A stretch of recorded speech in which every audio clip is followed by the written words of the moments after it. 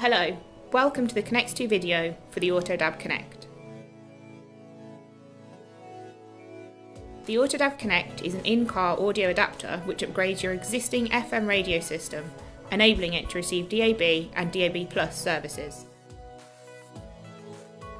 Within the box, you'll find your AutoDAB Connect adapter, which has both an antenna port and a 12 volt DC port. Also included in the box is your remote control which communicates with the adapter via RF. Upon the face of the control is a button configuration which has been designed for your ease of use and includes preset, scan and menu functions. You will also find a power cable which is usable with your cigarette lighter and a DAB antenna. With this antenna, please ensure that the earth sheet is connected to a metal part of the A pillar and that it is placed 15 centimetres from the top of the windscreen. You can now go ahead and attach the SMB antenna connection and the power cable's 12 volt connector to the back of the AutoDAB Connect adapter. The adapter can then be hidden away in a suitable location. Once this is all connected, you can go ahead and plug the other end of the power connector into your cigarette lighter.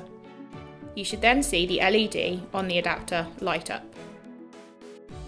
Your AutoDAB Connect should then be found on a specific FM frequency. In this case, it has positioned itself on 99.6. This frequency can be altered via the remote control and details of how to do this can be found in the instruction manual. The AutoDAB Connect remote control will allow you to switch between DAB stations wirelessly via RF technology. The DAB station name is broadcast via RDS text to the vehicle's head unit, allowing you to seamlessly change between all of your newfound digital radio channels. As well as this, the remote allows you to control your current presets with its easy to use button layout.